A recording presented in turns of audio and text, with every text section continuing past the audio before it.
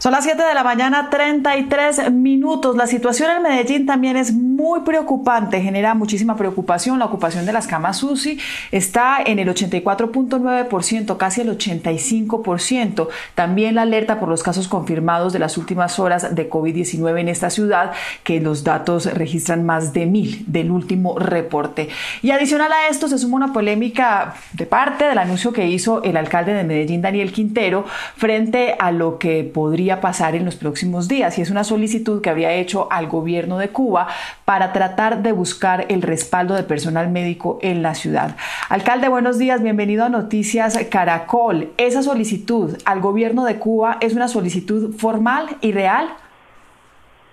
Eh, sí, señora, es una solicitud formal que hace parte de toda una estrategia internacional de búsqueda de apoyos que hemos lanzado desde que inició la pandemia y que nos ha permitido eh, recoger, por ejemplo, 100.000 pruebas del gobierno de Emiratos Árabes, donaciones de equipamiento médico del gobierno de Seúl en Corea del Sur, que nos ha permitido enviarle cartas a Estados Unidos, a las empresas de Moderna y de Oxford para, para el tema de vacunas, que se realicen pruebas de vacunas en la ciudad que podría ayudar mucho a salvar vidas y que hace parte también de la estrategia para preparar a la ciudad en caso de que sea necesario. Eh, eventualmente no va a ser necesario, pero en caso de que sí, para la fase 4, eh, de tener personal médico extranjero que podría venir ya sea de Cuba, de Francia, de España y Alemania, países a los que les enviamos una solicitud para saber si tienen o no disponibilidad. ¿Me escucha?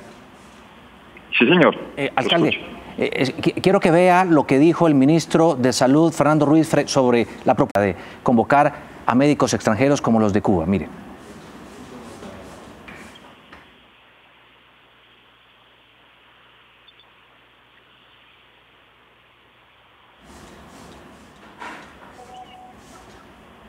Alcalde, ¿me escucha? Sí, mi querido Juan Diego. Eh, ¿Qué opina usted sobre lo que dijo el ministro, que no es momento de convocar a los médicos extranjeros? ¿Todavía no es necesario? Bueno, el Ministerio de Salud emitió una circular en la que dice cuáles son las fases, una circular hace varios días ya. Dice, la primera fase tiene que ser tratar de agotar los recursos de cada uno de los hospitales intensivistas. Esa fase es la que más o menos ya ha concluido, por cuanto cada vez que uno le pide a un hospital que le abra una cama nueva, le entrega un ventilador, le dice que no puede porque no tiene personal y eso se está convirtiendo en un drama de alguna manera porque es una carrera contra el tiempo, es cuántas camas sos capaz de, poner en funcionamiento versus cuántos pacientes te están llegando. La fase 2 es cuando ya empezamos a utilizar a personal de otros, ya no intensivistas, que son muy poquitos, eh, por ejemplo anestesiólogos y otros, a apoyar las tareas que generalmente hacen los intensivistas. La tercera fase es una fase donde ya se empieza a buscar personal no fuera del país, sino dentro del país otras ciudades que tengan una curva menos pronunciada, que tengan más disponibilidad de personal, pues se desplaza personal a las ciudades que tienen más retos. Y la cuarta etapa, según el Ministerio de Salud, es una etapa en la que se busca personal extranjero. Ahora, todavía no estamos en esa etapa. Eso no quiere decir que no haya que prepararse previamente para que cuando esa etapa llegue, en caso de que llegue, entonces tengamos, eh, por lo menos sepamos quiénes tienen médicos para ayudarnos, porque si no, lo que nos vamos a encontrar es que sí, esa era la cuarta etapa, pero no, no nos preparamos para ella como anticiparse, alcalde, pero, pero el personal médico ha respondido en Antioquia que eh, esas cifras que usted ha entregado no son del todo cierto porque esa conversación no se ha dado. Lo que está pidiendo es homologar eh, la información que usted tiene con la que estos grupos de científicos y médicos tienen en Antioquia. ¿Cuál es entonces la realidad en el departamento y en Medellín, en la ciudad? Bueno, Medellín es la ciudad que tiene hoy la tasa de letalidad más baja porque nos hemos anticipado, eh, porque tenemos un personal médico que diría yo y, con el, respeto obviamente de, todos los sistemas de salud del país, tiene uno de los sistemas de salud más maduros del país. Aquí la tasa de letalidad está muy por debajo del 2%. Eh, y el número de fallecidos por millón de habitantes está en más o menos 60, 60 y algo.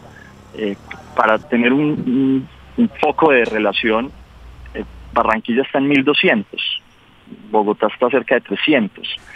Eh, eso no quiere decir que nos vayamos a quedar ahí. Eso quiere decir que hemos ganado tiempo, pero esto va a seguir avanzando. Entonces uno no se puede confiar.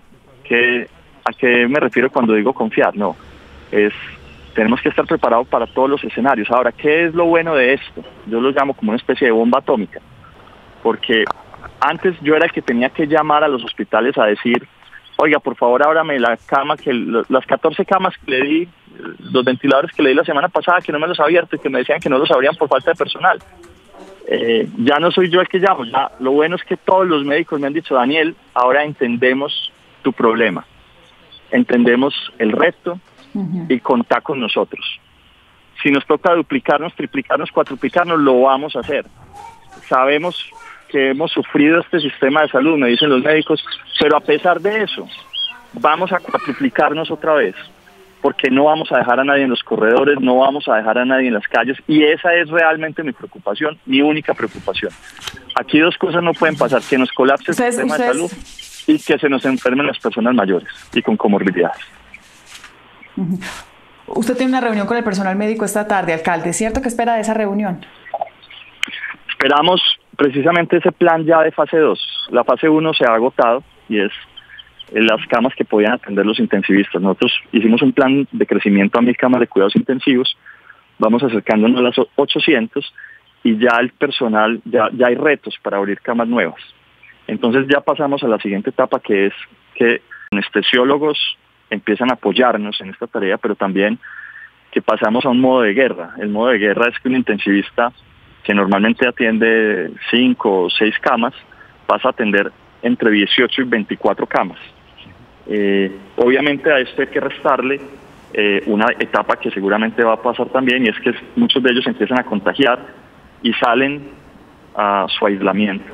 Entonces eso crea unas presiones, unos retos. Lo que vamos a crear es todo un modelo. Obviamente eso tiene que ocurrir hospital por hospital porque Digamos, la Asociación de Médicos no dice cómo funciona cada hospital, cada hospital decide cómo funciona el mismo. Pero ellos, los médicos, sí pueden, los intensivistas y anestesiólogos, sí pueden influir directamente a cada hospital para crear modelos de guerra, modelos de batalla que permitan amplificar el número de camas de cuidados intensivos. ¿Qué esperamos de esta reunión? Un compromiso de expansión tanto de los hospitales como de apoyo del personal médico. Es decir, vamos a salir y van a decir, vamos a ampliar tantas camas en tanto tiempo, en los próximos 15 días, y se van a hacer unos compromisos. Y ya con eso, entonces, no vamos a necesitar seguramente médicos extranjeros. Alcalde, ¿qué hace tan valiosos a los médicos cubanos? ¿Quién paga a un médico cubano? ¿Cómo funciona eso? Bueno, eso sí, no lo sé yo, pero, pero yo lo que sé es que eh, necesitamos médicos y hay que buscarlo en todas partes. Yo mandé carta a Cuba, mandé carta a Francia, España, Alemania. Alemania en el pico de la pandemia, Alemania es el país con el mejor sistema de salud del mundo y lo muestra esta crisis de coronavirus. En el pico de la pandemia, Alemania llamó a médicos extranjeros, porque, hombre, uno puede tener el mejor sistema de salud del mundo, pero si se le acaba la gente, pues no se puede, no puede dejar simplemente que la gente se muere. Eso no puede ser una alternativa. Eh, si eventualmente ellos saben manejar esos equipos y manejar, cuando digo esos equipos es todo lo que hay detrás de una cama de cuidados intensivos, pues hombre, eh, yo sé que nadie se va a quejar porque a su familiar lo salvó un cubano, un ruso, un israelí. Va a quedar agradecido eternamente. Por ejemplo, a mí unos médicos me salvaron la, a mi hija. Hombre, uno no tiene sino gratitud eterna con ellos, con el Pablo Tobón, con Sergio Hoyos, gratitud eterna, porque es que le salvan lo más preciado. Dígame, si a, vos te salvan, a tu papá, a tu mamá, a tu hija, a tu hermana, vos quedas agradecido sin importar de dónde venga. Y ahí es donde yo digo, hombre, se nos está olvidando la enseñanza que nos vino a traer el coronavirus. Nos vino a decir que sin importar las fronteras, las religiones, las ideologías, las razas, nos necesitamos todos como humanidad. Yo no solo le pedí a Cuba, le pedí a medio mundo, porque yo no me meto en ideologías, yo tengo una sola misión y es salvar vidas.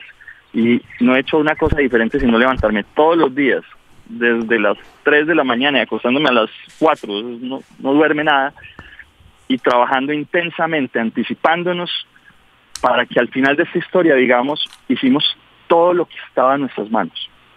No dejamos nada por hacer, porque el cargo de conciencia, dejar algo por hacer, que se pierda una vida que se pudo haber salvado, por tu responsabilidad, eso sí no va a pasar, eso sí no va a dejar que pase. Mientras yo tenga energía, salud, voy a seguir tomando decisiones con independencia para salvar vidas. Véngase el mundo que se venga, porque en esto también hay que estar listo para, para la crítica también. Pero si eso ayuda a salvar vidas y a mover a los actores, a la, a la gente que se tiene que mover para que las cosas pasen, pues hay que hacerlo.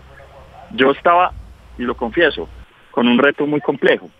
Uno, ya con los ventiladores, pero no le abren las camas porque no hay personal.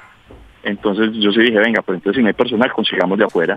Ahora la ventaja es que ya me están diciendo, venga, ¿sabe que sí? Eh, podemos hacer unas cosas para que haya personal. Bueno, entonces esto sirvió para algo. Pues esperamos, alcalde, esperamos, alcalde, por supuesto, que estas conclusiones y estas reuniones sí traiga lo mejor para todos, es la preocupación que hay y la prioridad. Antes de despedirle, a propósito que usted tocó el tema, déjeme preguntarle por la pequeña Leia, ¿cómo está ella, su hija, su esposa, cómo están? ¿Están recuperándose bien?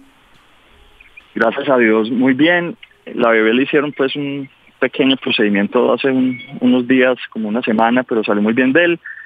Y, y Diana en la recuperación franca, eh, la niña le hicieron unos exámenes hace como dos, tres días y salieron perfectos. Va en proceso de recuperación. Estos primeros meses de todas maneras son delicados porque tienen que estar haciendo ajustes, tienen que estar haciendo eh, cositas que, que se van detectando es en el proceso, pero realmente ya está hasta, hasta que dice papá, pues tiene seis meses todavía, pero siete meses, pero, pero ya uno la escucha diciendo como papá, papá, papá, entonces uno dice, oiga, la vida es una cosa muy barraca, la vida eh, es una cosa que no se detiene y, y lucha por ella misma, es decir, es una cosa increíble y yo de verdad que estoy muy feliz.